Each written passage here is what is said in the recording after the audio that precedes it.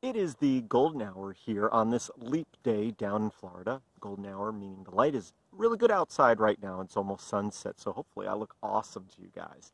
Anyway, I want to talk about something real quick. Um, something I've heard a few times, and I recently watched a video.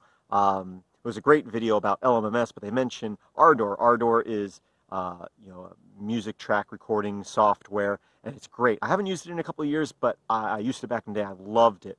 Um, but one of the misconceptions for, about it is that it's not free. And some people will point out that it's free, Libre free, but it's not free as in beer free because you have to pay for it, which is not true at all.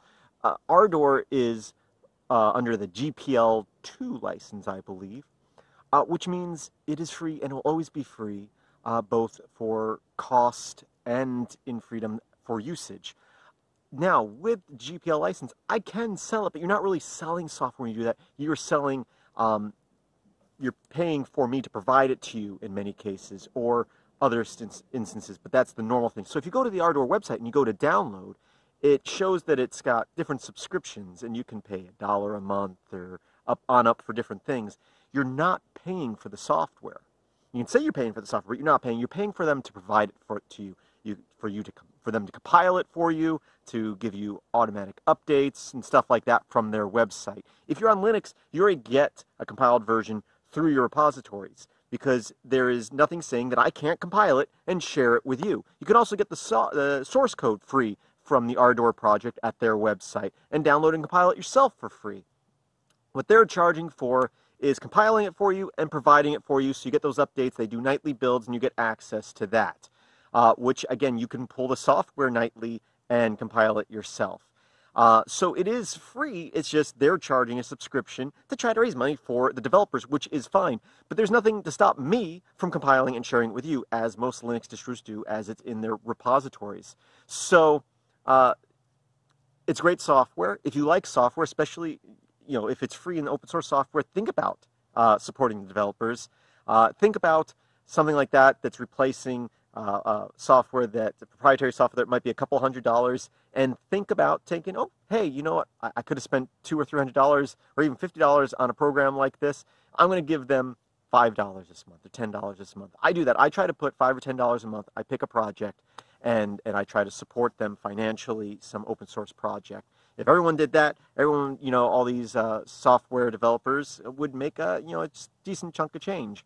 Um, but it just bothered me that i hear that quite often that it's not free software or it's it's Libre uh, software, but it's not free as in beer software, which is the opposite of what you would normally hear. But it's because their website comes across that, and I'm not going to say how I feel about that. I mean, it's one of those it's it's one of those weird things that you know they have every right to. Uh, I think I personally think developers should get paid. I think software should always be free. You should never ever pay for software, but paying somebody to develop software or paying someone to provide that software for you or do some sort of work for you, um, I think is a great thing. It's, it's a fine line, and a lot of people don't understand the difference, but there's a huge difference in that when it comes to freedom of software, it's your freedom of use as well as the cost, but there is there are people working on it, and you should support them.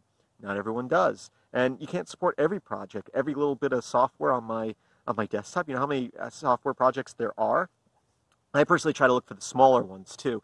Like I, I, I don't usually I'm not gonna I don't think I've ever donated any money to Blender because they, they, they make a decent chunk of change or, or LibreOffice because people support them all the time. I try to look for those little projects uh, and, that I like and support them.